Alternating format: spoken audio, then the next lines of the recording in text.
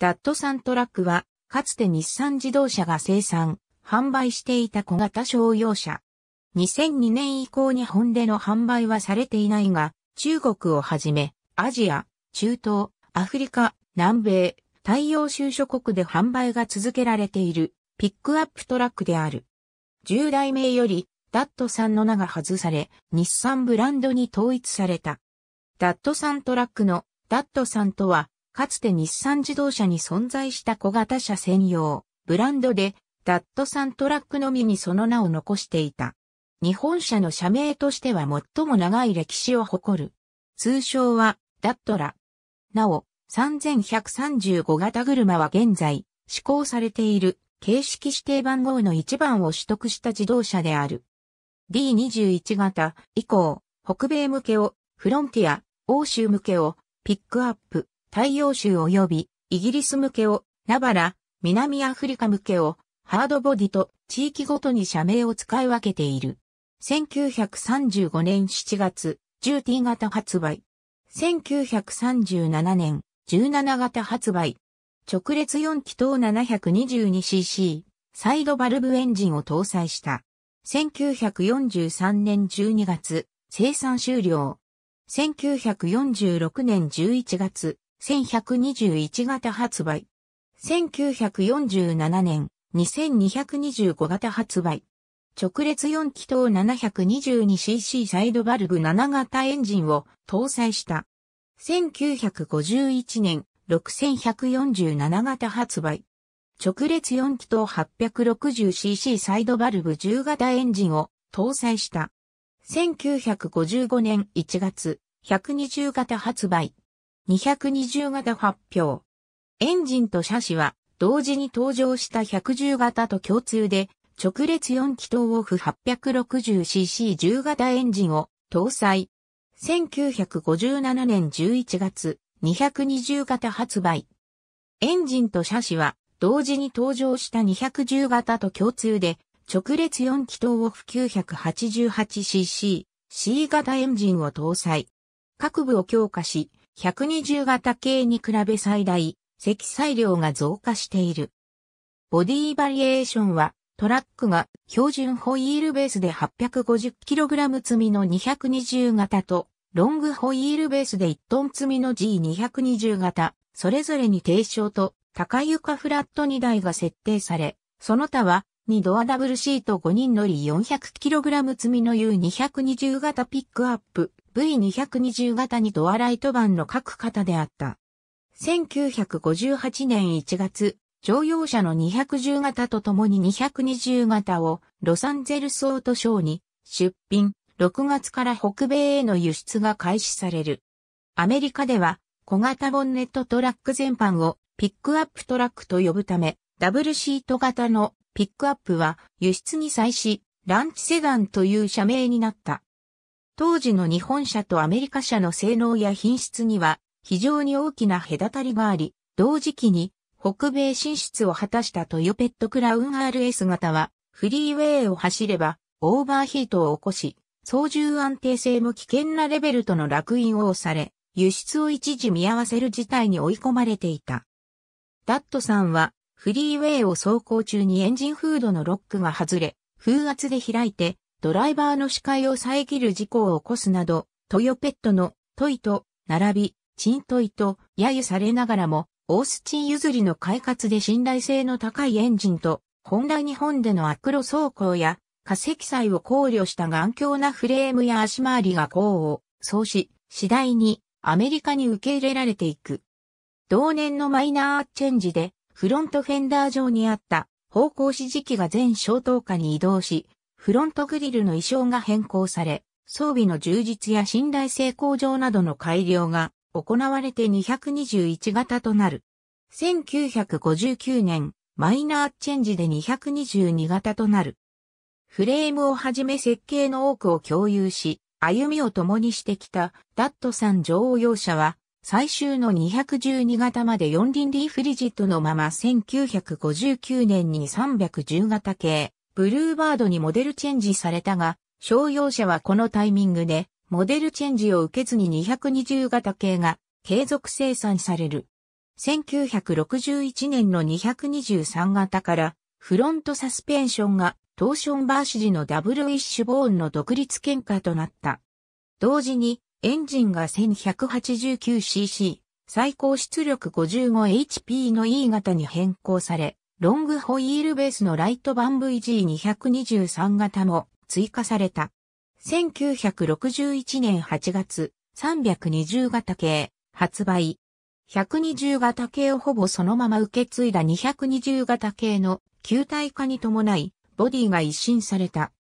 車型はシングルキャブのトラック、乗用車風ダブルキャブのピックアップ、2ドアのライト版の3種で、トラックにはロングホイールベースと高い床の設定があるなど、これまでのラインアップを踏襲しているが、ロングホイールベースのライト版が廃止された。また、北米向けには、キャブシャーシやワンピースボディのスポーツピックアップも設定された。外観は310型系ブルーバードによく似ており、宣伝にもブルーバードムードのニュースタイルと謳われている。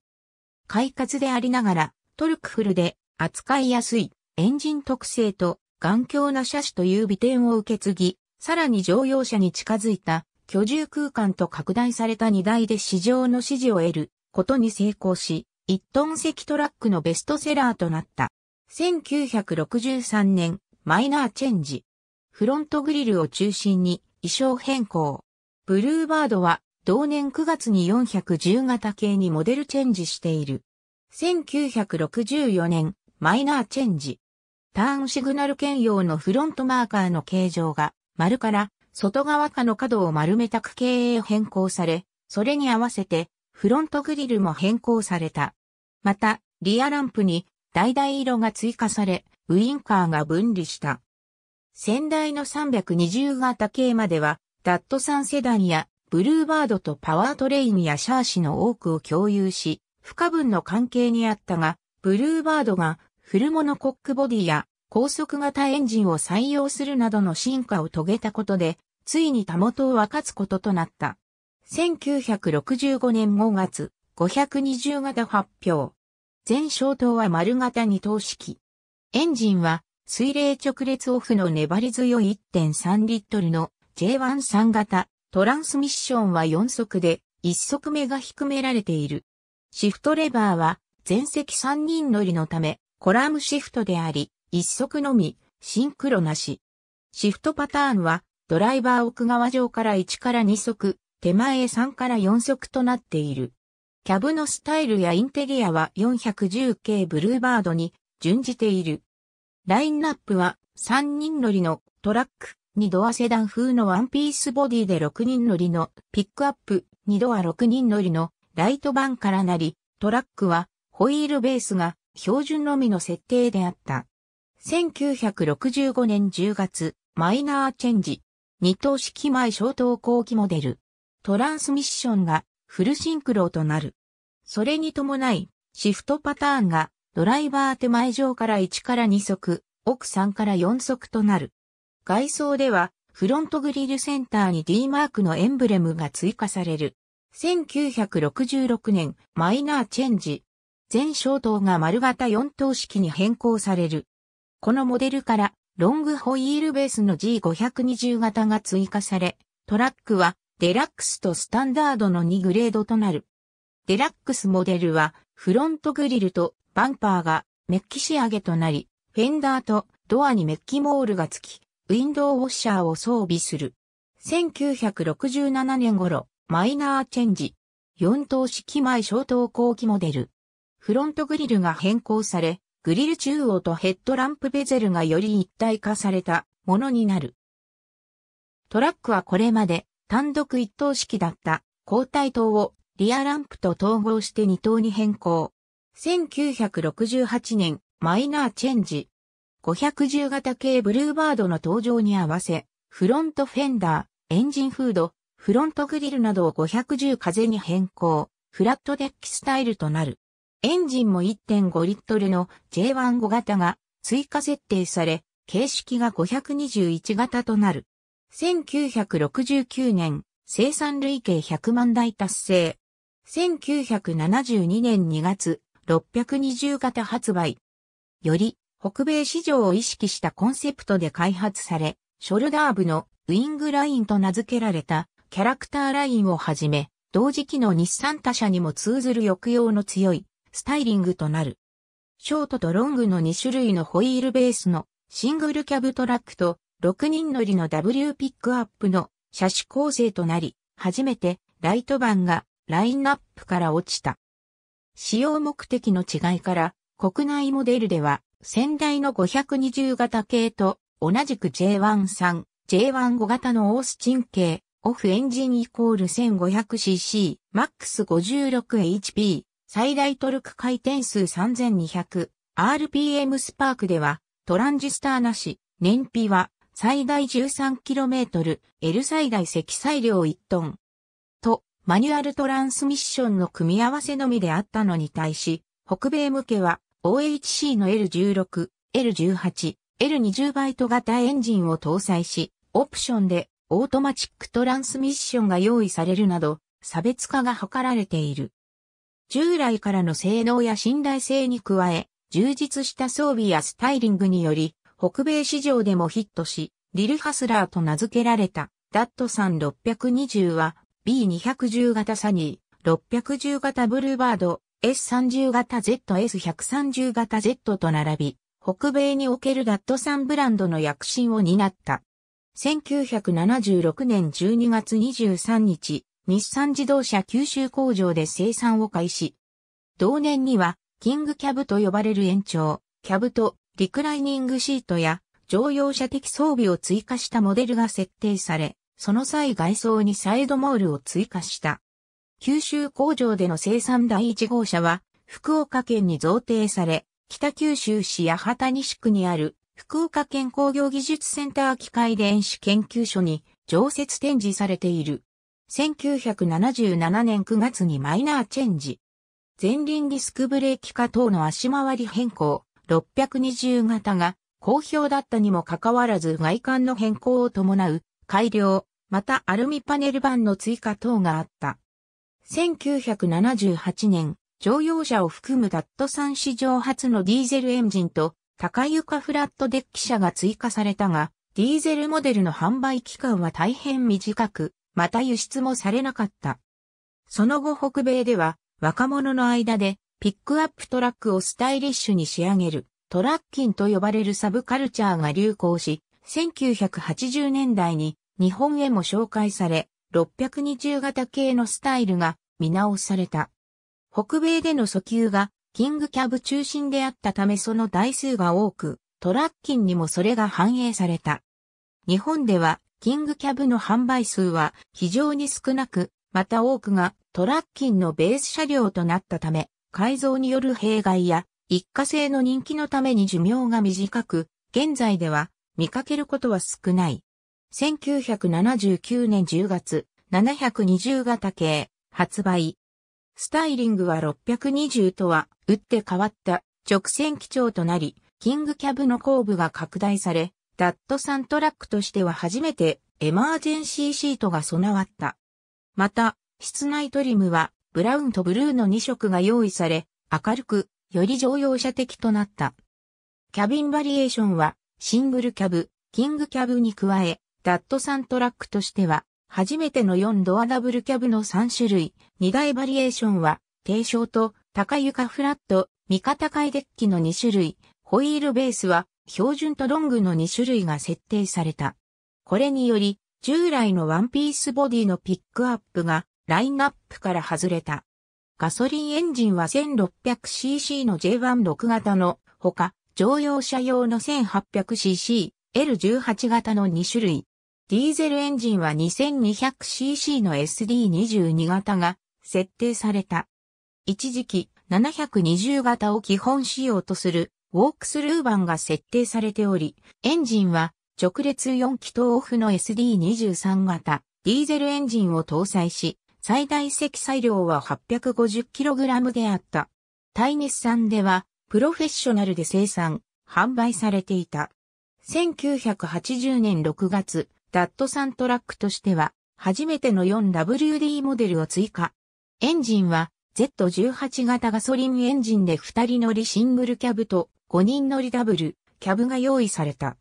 1982年1月、4WD モデルにディーゼルエンジンを追加。1983年4月、マイナーチェンジ。ヘッドランプを丸型から角形へ、リアコンビランプを横型から縦型に、メーターを角形から丸型に、それぞれ変更。ディーゼルエンジンは排出ガス規制対応のため、100cc アップの SD23 型となる。1983年6月、北米日産会社にて生産開始。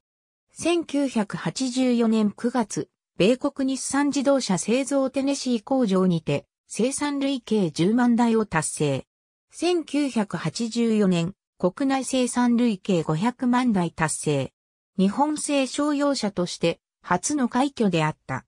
1985年8月、D21 型発売。このモデルから日産ブランドとなる。キャビンバリエーションはシングルキャブ、ダブルキャブ、及び海外向けのキングキャブの3種で、アジア地域用キングキャブはリアウィンドウ形状が異なっていた。パートタイム 4WD もラインナップされた。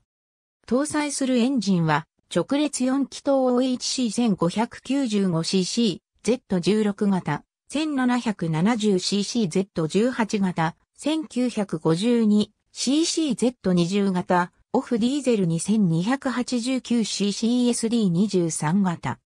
また、国内の外装は、北米仕様と異なり中近東仕様に準じたものとなりかなり印象の違うモデルとなった。欧州では、ピックアップ及び、ナバラの名称で販売された。公衆仕様でも、ナバラの名称を使用開始。北米仕様では初めて VG30 が搭載され、名称もハードボディとなった。太陽国のサイアム日産モータース社ではビッグ M として生産、販売された。1986年8月、D21 型を基本仕様とする日産初の SUV、テラのパスファインダー登場。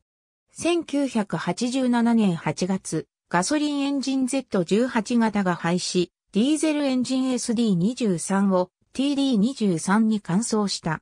1988年11月、ディーゼルエンジンに TD27 型が追加される。オーテックジャパン製限定車、アダックスが発売。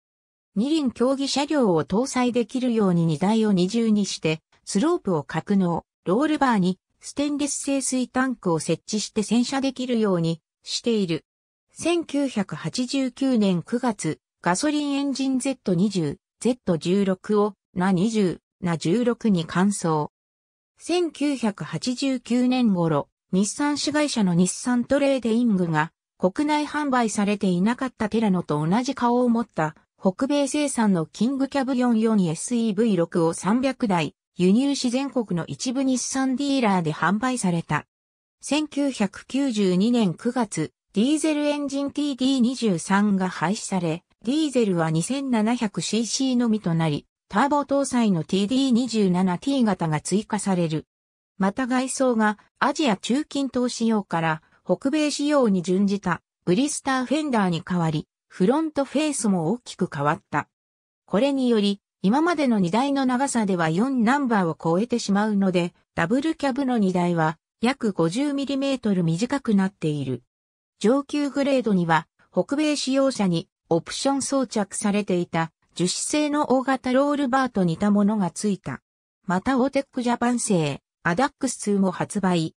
1995年8月、ガソリンエンジン NA16型が廃止され、バリエーションは NA20、TD27T、TD27 の3機種となった。マイナーチェンジによって、オーバーフェンダーとアルミホイルガードバー等のオフロードパッケージが装備された。ワイルドアダックスと DR パッケージが発売された。DR とはアメリカで50台限定生産されたデザートランナーの頭文字を付けた名前である。1995年、日産の合弁会社である低州日産記者有限公司にて D21 型ライセンス生産開始。2008年3月15日、15年間続いていたメキシコでの生産を終了。1997年1月、D22 型発売。社名も単にダットさんとなる。ビジネスユースはダットさんトラック、レジャーユースはダットさんピックアップを名乗る。エンジンはガソリンエンジンか 24E な 20S、ディーゼルエンジンが QD32、TD27 の4機種。基本シャーシは D21 型のキャリーオーバー。ボディサイズは大型化したため 4WD はすべて1ナンバーとなる。前期型内装は D21 型と同じ。このモデルには、オーテックジャパンがプロデュースしたエアロパーツ装着モデル、スカイスターも存在した。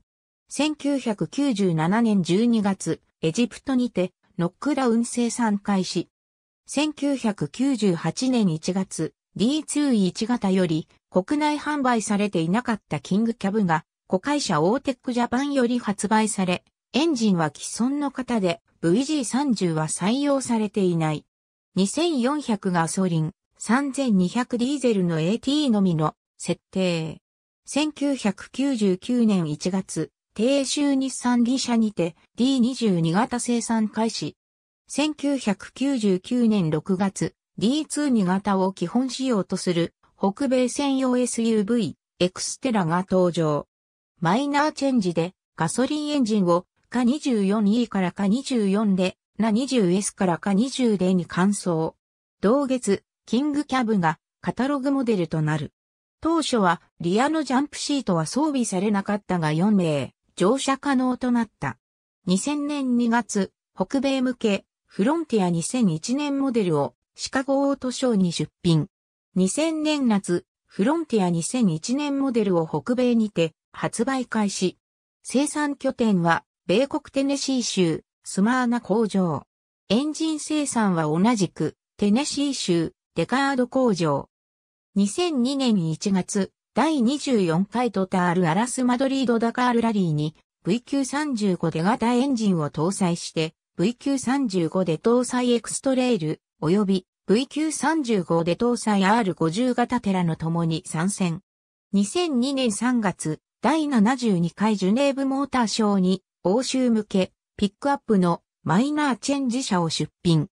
2002年4月、ブラジルパラナ州産、ジョゼドスピニャイスのアイルトンセナ工業団地にある、ルノー工場にて、フロンティアの生産を開始。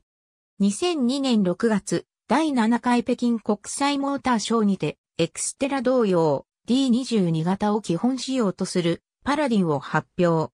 カ24で型及び VG33E 型を搭載し、低州日産にて2003年に生産開始。2002年8月、日本国内向け生産終了。日本国内向けとしては10代67年の歴史に幕を下ろした。これは国内向けの商用車としては最も歴史の長い商標だった。2003年1月、第25回テレフォニカダカール2003に前年同様 VQ35 デ型を搭載して参戦し、総合5位完走を果たす。2005年1月、第27回テレフォニカダカール2004に VQ35 デ型を搭載し参戦。2005年4月、日産エジプトモーターで D22 型ピックアップの生産、販売を開始。2012年3月2日、D22 型の日本国内での生産を終了。これにより、日産車体湘南工場第一地区での車両生産も終了した。ありがとうございます。